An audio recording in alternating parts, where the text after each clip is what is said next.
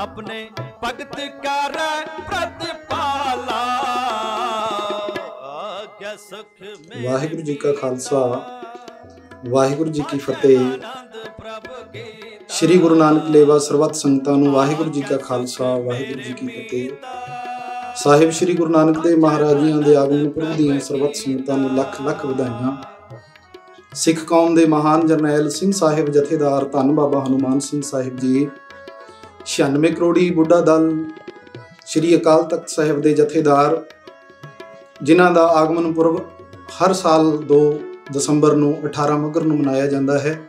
ਸਰਬੱਤ ਸੰਗਤਾਂ ਨੇ ਸ਼੍ਰੀਮਾਨ ਸੰਤ ਬਾਬਾ ਜੀਤ ਸਿੰਘ ਜੀ ਹੰਸਾਲੀ ਵਾਲੇ ਮਹਾਪੁਰਖਾਂ ਦੇ ਬਚਨਾਂ ਅਨੁਸਾਰ ਬਣੇ ਹੋਏ ਨਵੇਂ ਬਣੇ ਦਰਬਾਰ ਸਾਹਿਬ ਦੇ ਅੰਦਰ ਪ੍ਰਕਾਸ਼ ਸਤਿਗੁਰਾਂ ਨੇ ਹੋਣਾ ਹੈ। ਸਰਬੱਤ ਸੰਗਤਾਂ ਨੇ ਦਰਸ਼ਨ ਕਰਨੇ ਹਨ।